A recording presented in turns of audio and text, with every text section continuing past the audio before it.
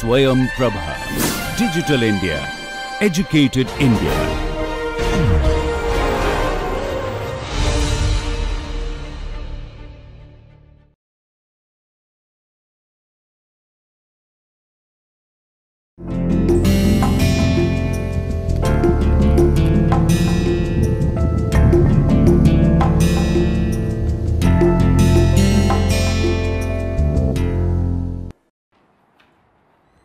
Let us start this lecture with a thought process from Lord Kelvin. He says there is at present in the material world a universal tendency to the dissipation of mechanical energy, right?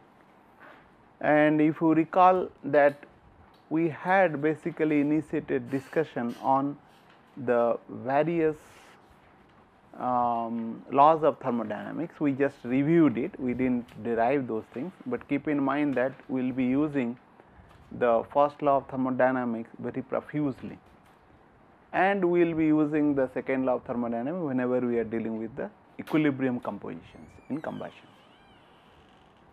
And um, towards the latter portion of last lecture, we initiated discussion on stoichiometry stoichiometry plays a very important role which indicates theoretical oxidizer required for the complete combustion of fuel is not it? And we will take an example and then see how we will handle in a better manner. And uh, let us consider that we will take 1 mole of methane right and it is reacting with basically air.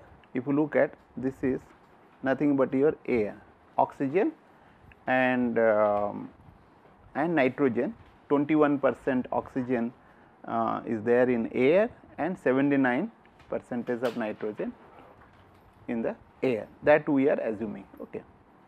However, air will be containing other uh, constituents also composition also species also. Now, uh, and we are assuming that the product will be carbon dioxide, water and nitrogen. Keep in mind nitrogen is not participating in it, right, it is remaining as nitrogen. But in real situation there will be some NOx, NO, nitrous oxide, nitric oxide, other things, right, SCN, but we are not assuming. Similarly, it is not that product will be only carbon dioxide and water, it is only theoretically, okay. There will be carbon monoxide, there will be unburnt hydrocarbon, there will be some other species, formaldehyde, other things, right. But those are uh, things, but here we are assuming theoretical or the something ideal situation. Now, I want to basically find out how much air is required to burn 1 mole of methane. So, what I will have to do? I will have to do a balance. So, how I will do it? So, if you look at like uh, can you people do that? It is very easy and uh, if you look at I can uh, you know uh, put it here 2 right because CH4. So, H4 in the left hand side and water and that H is 4. So, similarly I can put here 2 because this is uh, 4 O and this is 2 O in the water on the right hand side and O2 in the carbon monoxide side right. And uh, nitrogen is very easy it will be into 79 by 21. If you look at 79 by 21 will be 3.76 kind of thing. So, this thing ratio will be 3.76. Now, that means this is basically balance that means 1 mole of fuel will be burnt you know 2 moles of air for complete combustion and which is theoretical right. Now, if it is some other hydrocarbons let us say propane or butane or pentane or hexane or any other hydrocarbons. So, how we will deal with that that is the question arises which will be little easier way of doing. So, for that let us represent the hydrocarbon as CXHY, X can be 1, H can Y can be 4 that is methane right. So, similarly um, x can be 2 and y can be some other things you know it will be another one. So, if we will do that how we are going to do this this is in a similar way right is not it. For example, if it is C x h what I will do I will put it here x and in this space we can put it y by 2 right? And this will be a will be what? That is the thing we need to find out right? And this will be nothing but 3.76 a. We need to find out a. How we are going to do it right? If i say that a will be equal to 4x plus y divided by 4 right is it right? How can i derive it? It is a very simple one. What i will do I will take O and balance it right. If I will do that O is equal to on the left hand side 2A right? And on the right hand side for carbon dioxide uh, term if you look at that is 2x and for the water it is y by 2 and then that is nothing but your what you call A is equal to 4x plus y divided by 4 that you can get very easily is not it if you look at A is equal to 4 x right plus y divided by 4 that I am getting very easily. So, if you remember this it will be very easy to do that okay. But there might be a situation you know this will not be whole good for example, if I say producer gas or a coke oven gas. This formula not help. Will it help you? Even if you remember it not work because it will be not only co containing hydrocarbon, it will be containing CO, it will be containing nitrogen, it will be containing hydrogen you know then this formula not be helpful right. We will take an example uh, little later on just to uh, find out how we can handle this uh, mixture which is not represented by CXHY okay, or hydrocarbons. Now, uh, we need to find out what will be this uh, you know uh, air fuel stoichiometric. Air fuel stoichiometric basically by mass we consider right. That means, mass of air divided by mass of fuel right is equal to what is the mass of air and keep in mind in this expression or the both the uh, chemical reaction what I have shown here like uh, which is generalized hydrocarbon other is methane. For both case it is the moles, but now we will have to convert into mass. Therefore, you will have to uh, multiply with the molecular weight of air into the air, air will be A NO2 plus 79 divided by 21 N N2 that is basically number of moles of nitrogen and this we know this is nothing but your 3.76 okay divided by number of moles into the molecular weight of methane, number of moles of the fuel or the methane into molecular weight of the methane. Now, in this case A will be what? In this case for because we are talking about for methane right.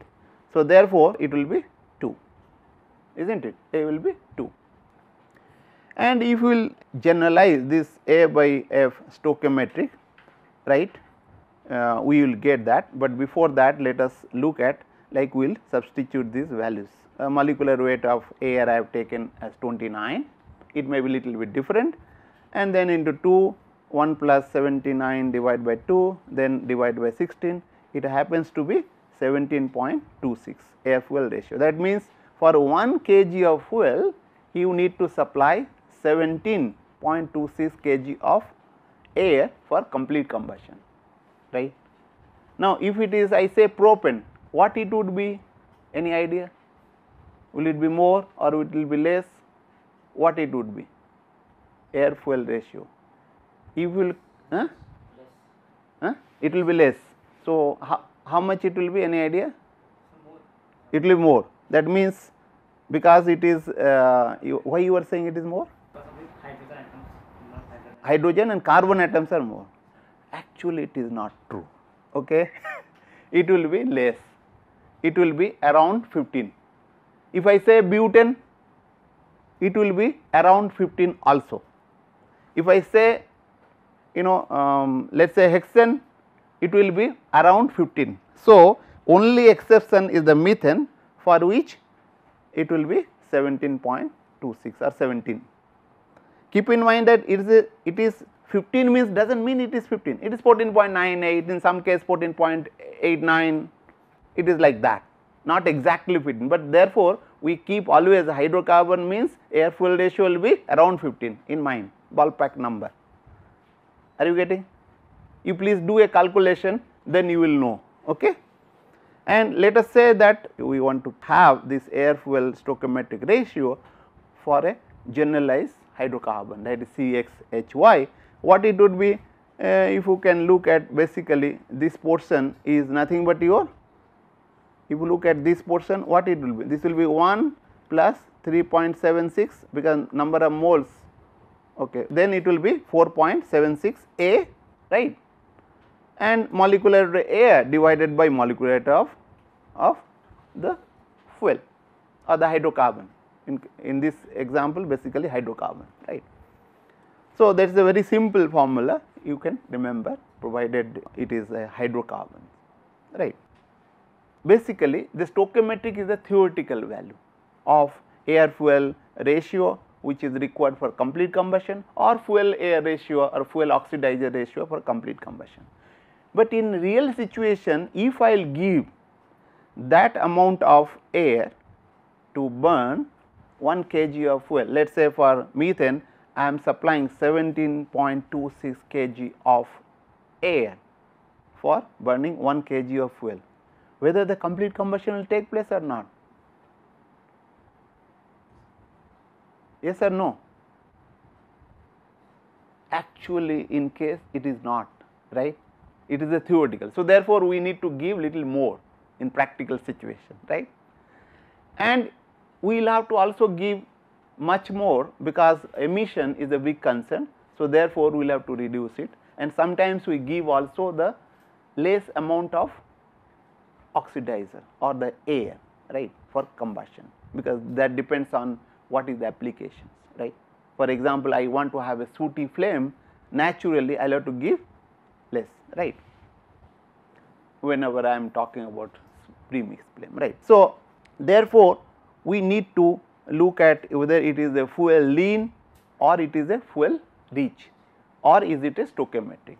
So, if it is uh, what do you mean by fuel lean then that means the amount of fuel will be what less as compared to the requisite fuel for the stoichiometric for the same amount of oxidizer. Okay.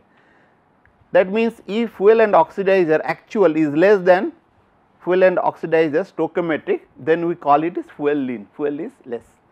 Okay. And if it is rich mixture it will be fuel and oxidizer actual will be greater than fuel and uh, oxidizer stoichiometric that is a rich mixture and stoichiometry means it will be same right. Now, this is of course qualitatively we will say okay it is less or more, but now I need to express that in terms of certain numbers. So, that it will be easier for me to calculate or to determine what will be the lean mixture or the rich mixture for that what I will have to do? I will have to define a term which is known as equivalence ratio. So, equivalence ratio is basically uh, if you look at it is oxidizer by fuel stoichiometric divided by the oxidizer by fuel actual okay. This is basically actual okay and that is same as fuel and oxidizer actual divided by fuel and oxidizer stoichiometric okay. That means if equivalence ratio is equal to 1 what is the thing? If phi is equal to 1, it is stoichiometric. If phi is equal to less than 1, it will be lean mixture. If it is phi greater than 1, it will be rich mixture, right. Are you getting? And when you are talking about this, we mean basically fuel rich. There can be oxidizer rich also, okay, is not it? I can say oxidizer, but here the what we are discussing is basically phi is greater than 1 means it is fuel rich.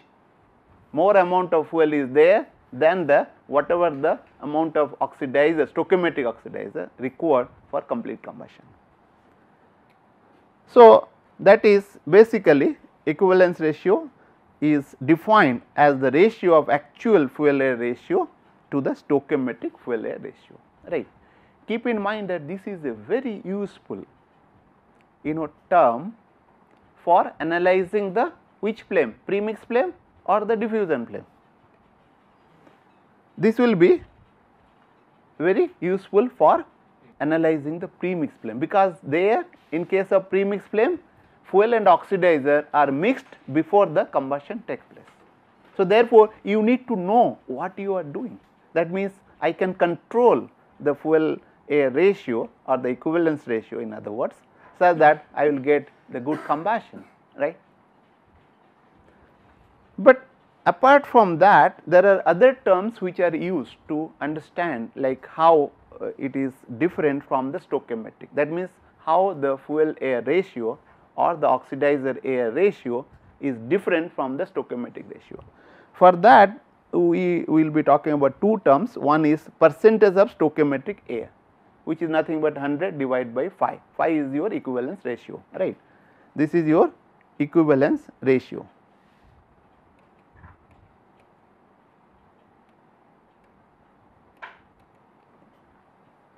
And similarly, I can find out what is the percent of excess air that is nothing but 1 minus phi divided by phi right?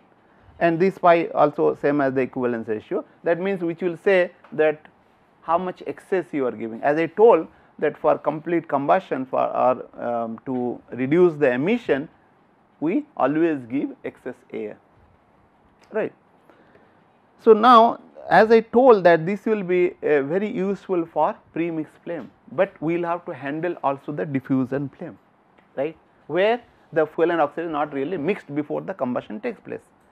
And for that we will look at it you know how to handle that, but uh, before uh, getting into that uh, you know how we will handle whether we will use equivalence ratio or not and how we can modify it or we will be using using some different term for to take care of that, we will take an example how to carry out a stoichiometric calculation right? And particularly how you will handle some fuel which need not to be a simple hydrocarbon unsaturated hydrocarbon right. Now, um, for that we will take an example. This example is gasoline. Gasoline you know we call it basically petrol in our uh, terminology or generally is mixed with the dry air. That means dry air means what? It does not contain moisture. Okay. But however you cannot avoid it moisture in the air right? Suppose i say that you want to have a dry air in your lab how you are going to get it? Any idea? I want to have a dry air in my lab in combustion lab you know where you are conducting combustion experiment how I will get it हो जाएगा क्या हाँ लेकिन हमको 100 percent चाहिए I want to have how I will do that this question you think about it हाँ हाँ very good so you can pass through the silica gel it will absorb the moisture and then you can do that very good okay it will go to the products right? Products uh, I can measure you know like uh, by various means. And let us say the measured products is 10.02 percent is carbon dioxide, 5.62 oxygen and 0.88 CO that is carbon monoxide and 83.48 nitrogen. These are the things you are getting right? And we will have to determine air fuel ratio, equivalence ratio and percentage of stoichiometric air used in this mixture. So, if you look at gasoline can be represented as C8H18 right. Let us say the X moles of uh, C8H18 right is reacting with A moles of air and giving the product of 10.2 carbon dioxide, 0.88 carbon monoxide, 5.62 oxygen right okay if you look at some oxygen is there here also that means it is remain unutilized. It remains unutilized. And 83.48 nitrogen and of course, the water will be formed. You cannot avoid water okay? And assume that all are in gaseous form right. Now, how we are going to do it? Because I want to balance. I will have to find out what is A what is B right? This is not known. I do not know also the x it may be 1 mole it may be different than 1 mole right because what is known is the product but I, I am not aware how much is there in the reactant you know. So, therefore, I do not know. Okay. So, how uh, we are going to do this any idea? You have done all those things in uh, plus 2. So, I am just trying to make you recall. No idea. Basically, we will be doing mass balance. Okay. So, what we will have to do? We will have to take the each element and then try to balance right let us do that that is very easy and already we have done and now I am just asking you to. So, basically mass balance n nitrogen we are taking element. If you look at left hand side is basically uh, what it would be I can say this will be n 2 if want that will better otherwise you will have to multiply it by 2 here left hand side. Left hand side if you look at it is nothing but A and 3.76 right A is equal to this one huh? 83.48. So, therefore, A you can get very easily what is that A? A is equal to 22.2 right and similar manner I will go for C. If you look at it is basically left hand side 8 x and from the right hand side carbon dioxide 10.2 and from carbon monoxide 0.88.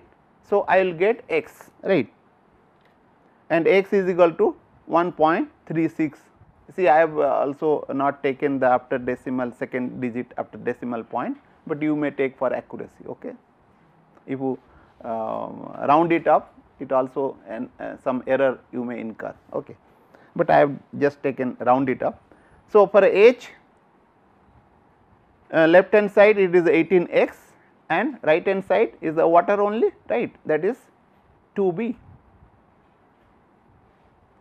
Okay. So, you will get b is basically how much it will be 12.24 because x is 1.36 right x is known I can this is x this is not multiplication sign okay?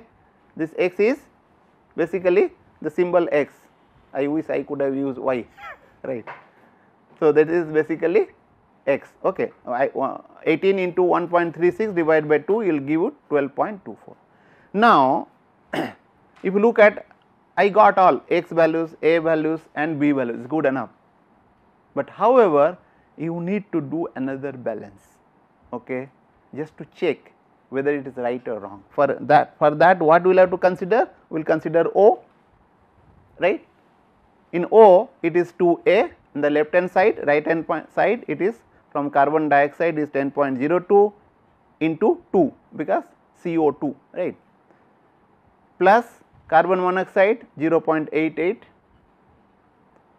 right and um, oxygen is basically 2 into 5.62 and of course B right. This is actually just to check because this is good enough whatever we have done till now. So, you will find out left hand side is 44.4 right hand side is 44.4. So, therefore, whatever you have done is right you are 100 percent sure okay. then you know what it is. So, now what we are getting we are getting 1.36 moles of C8H18 right is reacting with 22 point moles of air giving to the product of 10.2 carbon dioxide, 0.88 C mm, carbon monoxide, 5.62 oxygen and of course 8.48 nitrogen and B is 12.24 water. Now, what we will have to do B is basically 12.24 and uh, A is if you look at in this example it is 22.2. Now, I can uh, divide all this thing with respect with the 1.36. So, that I can convert into 1 mole of uh, C8H18 is uh, you know what it is. If you will do that what I will do I will divide this thing by 1.36 right. Why I am doing just to recasting uh, the above reaction equation rather uh, in terms of 1 moles of fuel as given below you will get in one terms right. Are you getting? It will be just easy you need not to do that also, but it will be easier. Now what is the fuel air ratio that is actual right this is m fuel divided by m oxidizer right. What you do m fuel is C8 H18. So, this is nothing but your fuel and this is your oxidizer right? And you will get 0.05089 right. Now, if you are having a calculator you do that. What will be air fuel ratio? Just let us do that. What is coming? Something 19.65 okay. Now, let us look at stoichiometric equation. That is very easy. 1 mole of C8 H18 is reacting with 12.5 of oxygen plus 3.77 nitrogen, 8 uh, moles of carbon dioxide, 9 moles of water and 47 uh, moles of nitrogen. If you look at you need to balance right I have just given this thing right. Of course, it is very easy to do that from here suppose you know C8 so therefore, it is 8 and uh, 18 therefore, it is 18 by 2 9 right very easy and then of course, uh, I need to know this. How I will know this. If you look at the formula what we have used a is equal to 4 x plus y divided by 4 that is the a. And x is what in this case? 8. So, 4 into 8 will be what? 32 plus uh, y is 18 right? Divided by 4 32 plus 18 is 50 50 divided 4 is nothing but your 12.5 right. Now, the fuel air stoichiometry is basically m fuel divided by m air. So, you will find out all these values you substitute you will find out 0.06643. Now, in this case what will be air by fuel stoichiometric will be approximately 15 just can you please check so, it is approximately 15 fine. So, now equivalence ratio what it would be? It would be basically fuel by oxidizer actual divided by fuel by oxidizer stoichiometric it happens to be 0.766 right. That means what? It is basically lean mixture because phi is less than 1 right. And why you can say I mean because it product contains oxidizer right oxygen. Therefore, it will be a lean mixture. Okay. and if product will be containing fuel it will be a rich mixture. Okay. and uh, percent stoichiometric air can be determined as basically 100 divided by phi right? And that happens to be 130 percent 0.5 percent right? 130.5 percent. That means 30 percent extra air is given in this uh, you know example. 30 percent extra is given for combustion of this um, gasoline right.